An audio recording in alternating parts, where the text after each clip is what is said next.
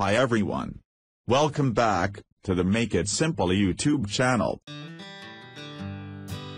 In this video, I want to tell you a tutorial.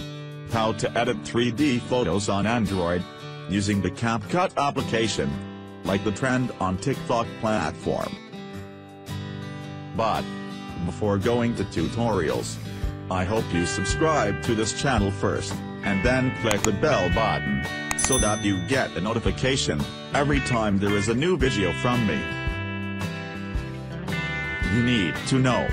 Same as 3D zoom effect. 3D photo is also the newest feature that CapCut has. Therefore, to get the CapCut 3D photo effect, you must download and update the CapCut application on your Android phone to the latest version. To update the CapCut app to the latest version on Android phones, as you already know, you can do it on the Google Play Store service. Okay. I assume you already have the latest version of CapCut app on your Android phone. So now, open your CapCut app and create a new project. Here, select the photo that you want to edit into a 3D effect. Then import it into the project with this Add button.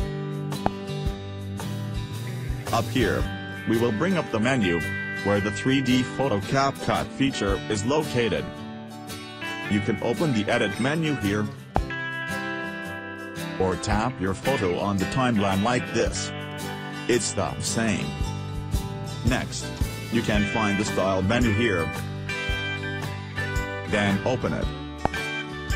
Here, you will see several styles that can be applied to your photos, including the 3D cartoon style which can make your photos into 3D cartoon effects. Tap this 3D cartoon style, then wait a few seconds for the creation process.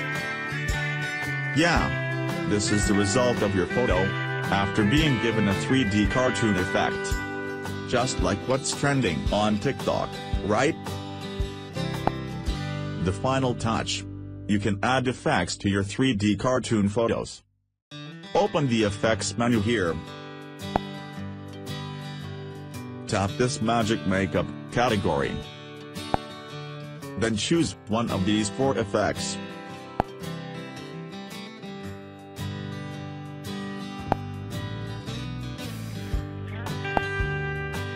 I want to use this Ice Queen effect as an example. Okay lastly, to save your 3D cartoon photo to the gallery, tap this full screen icon. Then take a screenshot. Until now, the CapCut app does not yet have a feature to save photos. Therefore, if you use the export feature, your photos will be saved to the gallery as MP4 format videos and not in image formats. That's the reason why I told you to take a screenshot. Because right now, that's the only way to save your 3D cartoon photos to the gallery. Okay guys, that's the tutorial, how to edit 3D cartoon photos on Android phones with the CapCut application. It's so easy, right? I hope this video is useful. See you in the other upcoming CapCut video tutorials. And thanks for watching.